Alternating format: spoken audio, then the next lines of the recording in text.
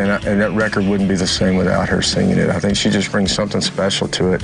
Not only because she's Taylor Swift, but the quality that she brings in, and the, and the vulnerability in her vocal on that record is just spectacular.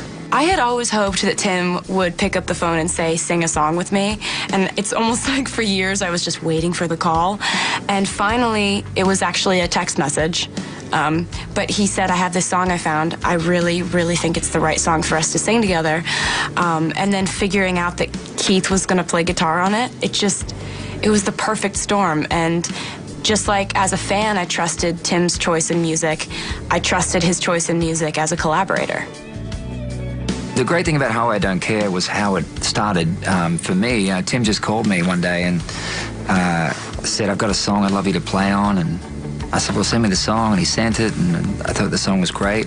Went in the studio and did a solo, and it, it was that simple. I mean, I just love the fact it was that simple.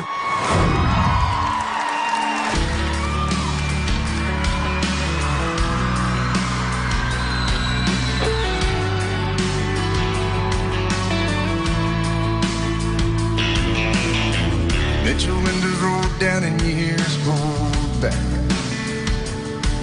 And I bet you got no idea you're going way too fast. You're trying not to think about what went wrong. You're Trying not to stop till you get where you're going. You're trying to stay awake, so I bet you turn on the radio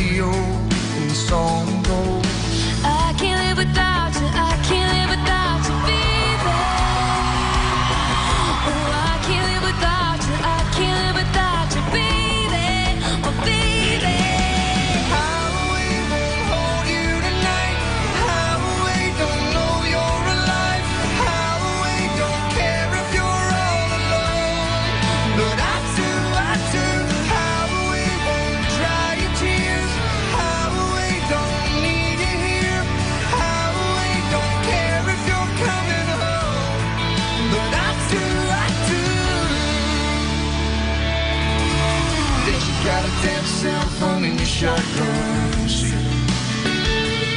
Yeah, I bet you're bending God's ear talking about me.